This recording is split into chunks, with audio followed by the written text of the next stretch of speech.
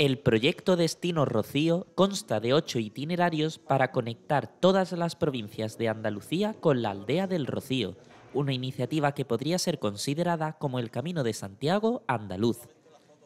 El presidente de la Junta de Andalucía, Juanma Moreno, que ha acudido a la presentación de este proyecto en Sevilla, ha trasladado el compromiso del Ejecutivo de la comunidad porque hay caminos que mejorar, señalizar, arreglar y adaptar.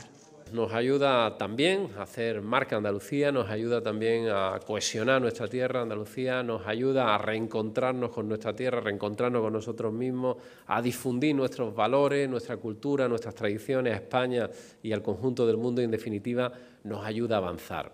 Moreno ha incidido en que el objetivo tiene que ser llevar ese trazado más allá del contexto y del fenómeno de la peregrinación, enriquecerlo, promoverlo y hacerlo permanente con vocación turística y con la colaboración privada y de toda la sociedad.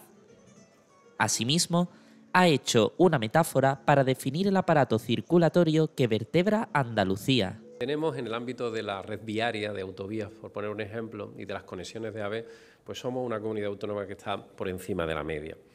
Pero por encima de esas grandes vías, además hay pequeños caminos.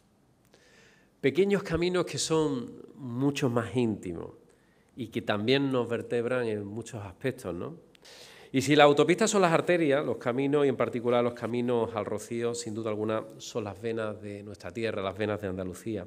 Para finalizar, el presidente de la Junta ha definido estos caminos como rutas más lentas y serenas, en las que nos encontramos con el fenómeno de las costumbres, las tradiciones, la artesanía, los oficios, los fogones o los paisajes.